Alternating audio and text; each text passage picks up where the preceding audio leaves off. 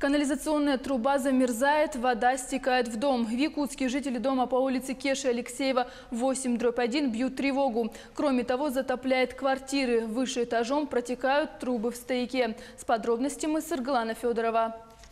Из-за необустроенных водоотводных путей канализация стекает прямо в дом. Только февраль месяц, а жильцов уже топит. И без того ветхий дом в любой момент может рухнуть. Провалившиеся полы, а под ними замерзшая вода. Это последствия постоянных потопов. Дом заливают весной талые воды и круглогодично канализационные. Двери открываются с трудом. В одной из квартир проживает Екатерина Григорьева. Сырость – причина еще одной напасти. Мурашка ден, букашка ден. Комор достар кама хыддаллар. Вообще билбеппин.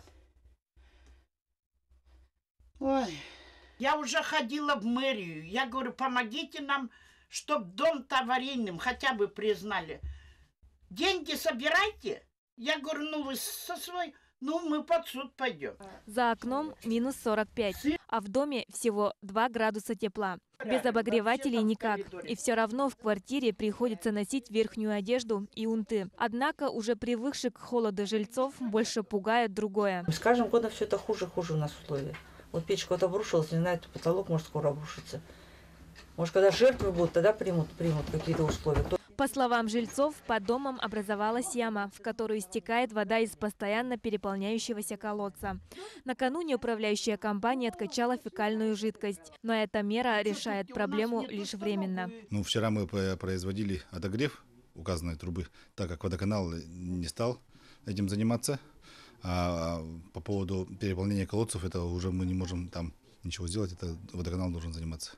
В свою очередь, в водоканале сразу ответить на наш вопрос попросту отказались. Мы комментарии не даем. Извините, до свидания. Дом 72 года постройки ветхим признан давно. Капитальный ремонт в плане фонда стоит лишь в 2020 году. Но уже сейчас жильцы с опасением ждущие весеннего половодья собирают подписи и намереваются провести экспертизу, чтобы наконец признать дом аварийным. Саргалана Федорова, Павел Пахомов, Якутск.